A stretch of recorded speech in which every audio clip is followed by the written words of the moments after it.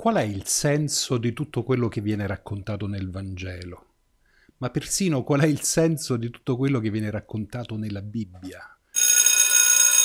Il racconto che Giovanni fa dell'apparizione di Gesù ai suoi discepoli, la prima apparizione in verità, perché quella che viene raccontata precedentemente è l'apparizione a Maria Maddalena e poi la corsa verso il sepolcro di Giovanni e di Pietro, che credono, hanno fede in quello che hanno visto, comprendono il senso delle scritture, però la loro comprensione, la loro fede, così come anche il racconto delle donne, soprattutto di Maria Maddalena, non sono ancora sufficienti. Manca la cosa fondamentale, cioè manca il dono del risorto. Il risorto porta se stesso e con se stesso porta un dono ai suoi discepoli. Se andiamo a vedere quello che ci racconta il Vangelo di Giovanni, dal versetto 19 al capitolo 20 fino al versetto 23, che eh, chiude la pericope che viene proposta quest'anno nella domenica di Pentecoste, ci accorgiamo del fatto che questi versetti sono molto densi perché richiamano tantissimi episodi della Bibbia, ma nello stesso tempo richiamano proprio l'inizio stesso del Vangelo di Giovanni. È come se l'Evangelista volesse chiudere il suo messaggio richiamando a ciò che era stato annunciato in precedenza. In questo momento, in pratica, Gesù in realtà realizza tutto ciò che ha loro promesso. Giunta la sera di quel giorno. Allora, il Vangelo ci dice che non siamo di giorno, ma di notte, di sera, cioè non c'è luce fuori, ma c'è luce lì nel luogo dove Gesù appare. Quindi c'è già, vedete, un primo richiamo a quello che ci aveva detto Giovanni nel primissimo capitolo, quando appunto presentava Gesù come la luce nel mondo e la luce che splende nelle tenebre.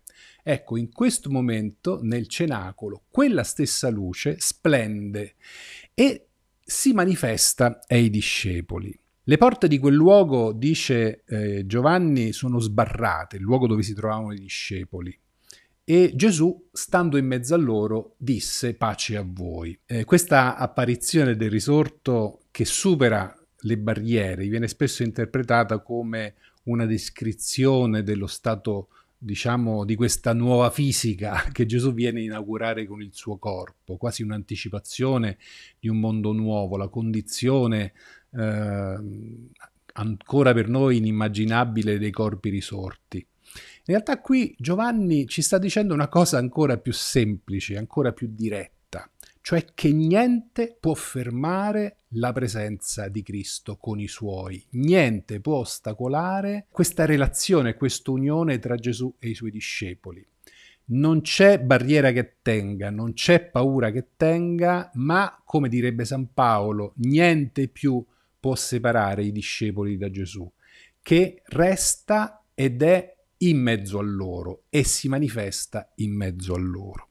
Quindi non si tratta tanto di fisica o di metafisica, si tratta semplicemente di una affermazione radicale dell'unione di Gesù con i suoi discepoli. Dove ci sono loro, lui è in mezzo a loro, esattamente ricordate come aveva promesso. E qui c'è già una realizzazione di una promessa. Quando compare in mezzo ai suoi discepoli, Gesù li saluta con la pace, che se volete è un saluto abbastanza comune in ebraico, shalom.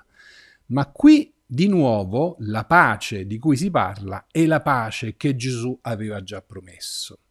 Ricordate che Gesù nell'ultima cena promette ai suoi discepoli una pace che il mondo non può dare, proprio nel Vangelo di Giovanni. Quella stessa pace è la pace che Gesù porta loro in questo momento ed è chiaramente un riferimento al fatto che la loro condizione interiore di persone cambia. Ciò che Gesù porta non è semplicemente una condizione dello spirito, quindi una pace interiore psicologica.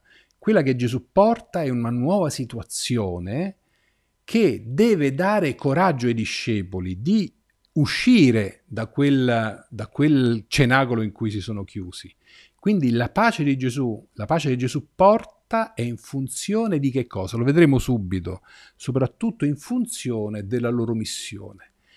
E infatti la ripetizione che avviene eh, delle parole di Gesù dopo che i discepoli hanno manifestato la loro gioia, evidente reazione di fronte alla presenza di Gesù, Gesù di nuovo ripete pace a voi e aggiunge, so, sottolineando la funzione che ha questa pace, come il Padre ha, manda- ha mandato me, così io mando voi.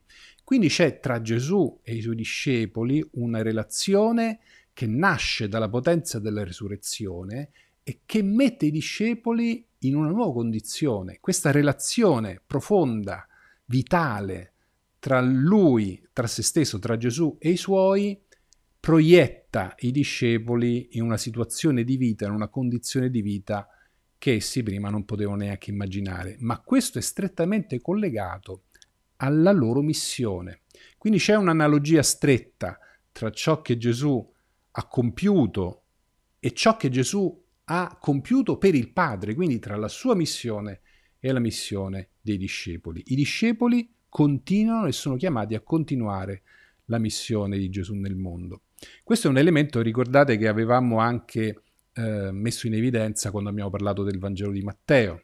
Nel Vangelo di Matteo, in quel brano che abbiamo letto domenica scorsa nell'ascensione, Gesù non sale al cielo come in Luca, ma la sua ascensione consiste nel fatto che la sua presenza fisica viene sostituita da un'altra presenza fisica che è la presenza stessa dei discepoli mandati nel mondo. Ecco, potremmo dire che qui accade qualcosa di analogo.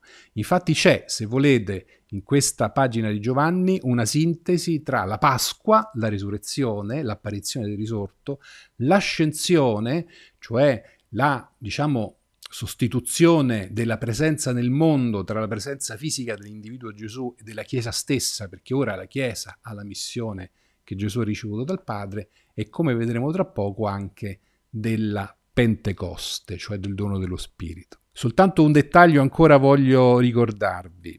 Quando Gesù si mostra nel sepolcro non si fa riconoscere attraverso il suo volto. Si è tanto discusso su quale potesse essere il volto di Gesù o addirittura si è discusso tra eh, ideologi, gli esegeti, se il volto di Gesù fosse effettivamente lo stesso volto di Gesù ordinario, storico, diciamo così. Fatto sta che questo gioco del non riconoscimento, seguito però da un atto di riconoscimento, che è un tema che torna dai Vangeli quasi in tutti i racconti delle apparizioni, sta a sottolineare una profonda trasformazione. Una profonda trasformazione dello stato di tutte le cose. Questa trasformazione che è avvenuta in Gesù non è semplicemente un ritorno alla vita, perché sarebbe allora un ritorno alla vita di prima, come è successo per Lazzaro, no? Non è così. Il ritorno alla vita di Cristo, la sua risurrezione, segna un salto tale di qualità tra la vita precedente e la vita, diciamo, futura, la vita presente del Cristo risorto, che i discepoli fanno fatica a comprenderla, ma persino a riconoscerla, persino a rendersene conto. Cioè Gesù si presenta come Gesù, però il suo stato, il suo essere vivo, la sua presenza è talmente al di là delle capacità di comprensione dei discepoli che essi hanno difficoltà a comprendere. Cioè la trasformazione che è avvenuta in Gesù non è ancora avvenuta in loro stessi, nei loro occhi, nelle loro menti. Deve avvenire qualcosa, deve, venire, deve, deve succedere che in qualche modo Gesù faccia un passo in più per permettere ai suoi discepoli di essere riconosciuto. Ecco, nel Vangelo di Luca spezzava il pane e qui Gesù mostra loro le mani e il costato.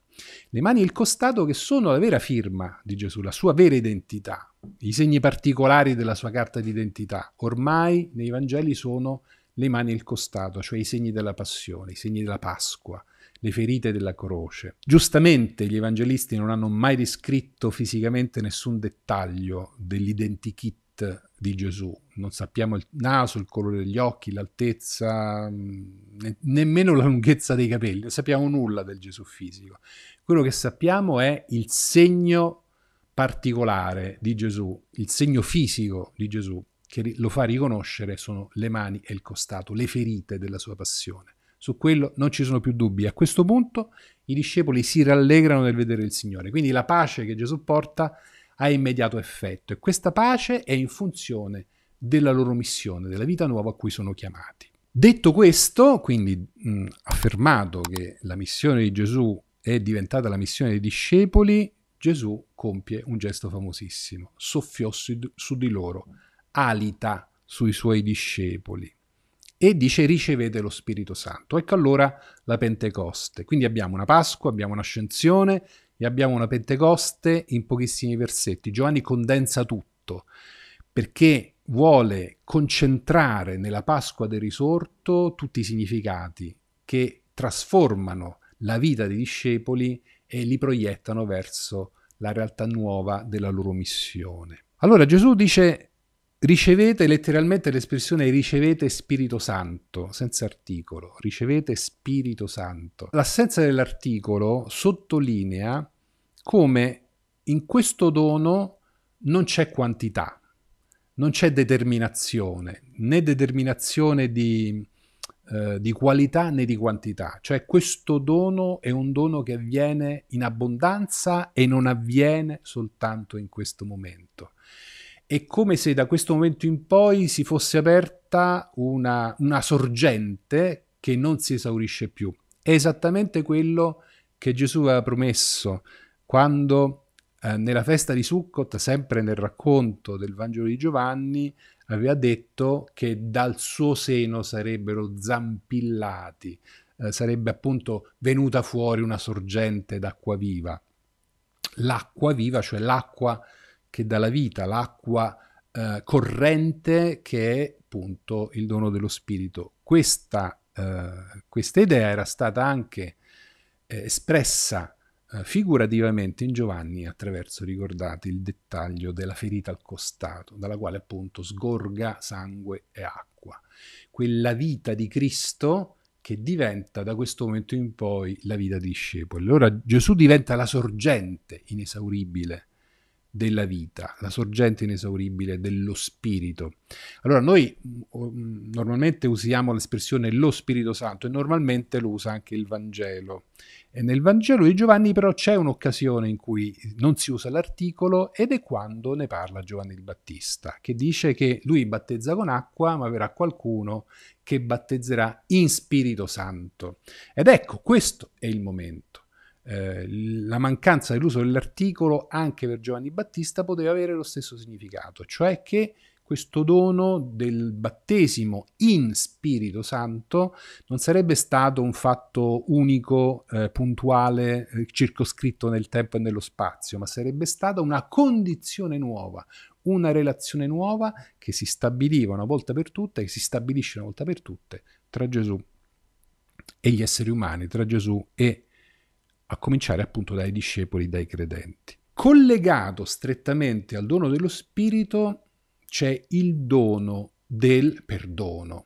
Il dono del perdono però va compreso bene perché va inquadrato in una, mm, in una mm, diciamo, definizione linguistica che forse a noi può sfuggire. Quando noi parliamo di assoluzione, in realtà l'espressione ci suona molto ehm, giuridica, però all'origine dell'espressione giuridica, anche remissione se volete è un'espressione giuridica, in realtà all'origine c'è un fatto fisico molto semplice. Se voi portate un animale, lo legate, lo legate e lo portate con voi. Ora, ehm, a noi non capita di portare un animale se non cani e gatti, cioè, più frequentemente i cani vengono portati al guinzaglio, no? Ma per l'uomo antico eh, l'animale che si portava più comunemente in giro poteva essere l'asino, oppure ehm, non tanto in Israele, ma in altre antiche società il cavallo, no? Quindi l'animale ha bisogno a volte di essere legato, ma legare l'animale vuol dire togliergli la libertà. Allora, quando qualcuno scioglie il legame, l'animale diventa libero. Allora l'idea è che tu puoi trattenere qualcuno o puoi appunto allentare la presa e sciogliere questo legame. Allora c'è un legame, diciamo, che intercorre tra l'uomo e il peccato. Il peccato è proprio l'essere legati a qualcosa, essere impediti nella propria libertà. Quindi sciogliere e legare appunto questa eh, funzione, quella di liberare o quella di trattenere o di lasciare nella schiavitù. Allora qui non è che Gesù sta dicendo ai suoi che loro hanno l'arbitrio di non perdonare, cioè possono decidere a chi perdonare e a chi no, no? Capite? Si tratta di ricevere o non ricevere la libertà dal proprio peccato. Allora, qui però l'espressione peccato va compresa rispetto a quello che Gesù diceva quando, per esempio, nel capitolo 9, ricordate, quando parlava dei farisei. Andiamo a vedere il capitolo 9 al versetto 39 e lì Gesù ci ricorda, lui è venuto per il giudizio. Gli disse Gesù al, al cieco che viene guarito, per il giudizio io sono venuto in questo mondo perché quelli che non vedono comincino a vedere, quelli che vedono diventino ciechi. Queste cose le udirono alcuni dei farisei che si trovavano con lui e gli chiesero forse che siamo ciechi anche noi? Disse loro Gesù, se realmente foste ciechi non avreste alcuna colpa. Ora invece voi dite, noi ci vediamo e il peccato vostro rimane. Quindi qui la condizione del peccato è la condizione di chi si sottrae alla verità e sottraendosi alla verità si sottrae anche alla possibilità di essere libero. Ed essere liberi è stare al mondo riconoscendolo per quello che è stare coi piedi per terra, avere di fronte a sé la realtà come si presenta ed essere testimoni di questa realtà, comunicatori di questa realtà. Non essere coloro che cercano di ri- ribellarsi a questa realtà e di nasconderla perché hanno un secondo fine, perché hanno un cuore doppio, perché hanno appunto qualcosa da nascondere. Come ricordate, questo ci ricollega anche al primo capitolo del Vangelo di Giovanni quando noi, noi avevamo a che fare con la luce che viene del mondo e ci sono delle tenebre che non la accolgono, non accolgono questa luce perché a loro le tenebre piacciono, perché nelle tenebre c'è qualcosa da nascondere, cioè nelle tenebre c'è l'ingiustizia e l'ingiustizia è fondamentalmente il peccato. Quindi ciò che Gesù sta dicendo è che il dono dello Spirito, la partecipazione alla sua missione, l'essere vivificati, ricevere questa vita dello Spirito corrisponde a essere mediatori, come lui è mediatore. In qualche modo, perciò, la Chiesa partecipa del potere di sciogliere, liberare il mondo e chiunque voglia dal peccato, dal male, dalla morte.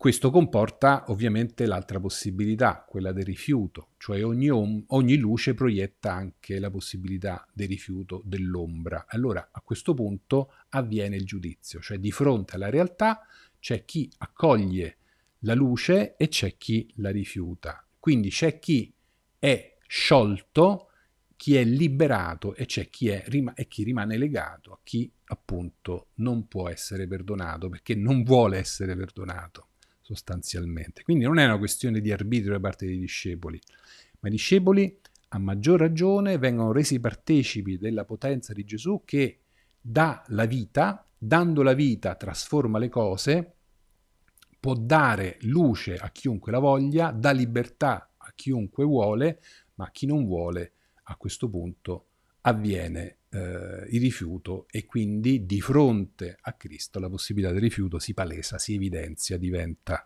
evidente. Quindi in qualche modo quando si indica il bene, inevitabilmente si denuncia anche il male e i discepoli hanno anche questa responsabilità. Uh, un'ultima cosa voglio dire è quella della bellissima immagine del soffiare sui discepoli. Sapete che è la stessa immagine della creazione dell'uomo originaria. Se andate a vedere eh, il libro della Genesi, si apre proprio con il racconto della creazione. Nel momento in cui l'uomo viene creato, il nefesh di Dio, lo spirito di Dio, l'alito, la vita di Dio, entra in questa forma, in questo pupazzo di fango, di terra, e eh, Adamà, la terra, diventa Adam, diventa l'uomo, che l'uomo appunto un essere vivente. Ora, eh, quella realtà grezza che sono i discepoli diventano appunto nuove creature, se vogliamo. Non nel senso che l'uomo viene ricreato da zero, ma nel senso che viene messo in una condizione diversa, nuova, superiore alla precedente. perché non è più la loro vita fisica, ma i discepoli ricevono il dono della vita stessa di Cristo, cioè quello spirito che ha risuscitato Cristo dalla morte, che ha ridato vita a Cristo, è lo spirito che dà vita alla Chiesa e quindi unisce strettamente il destino di Gesù al destino dei suoi discepoli. Bella a tutti.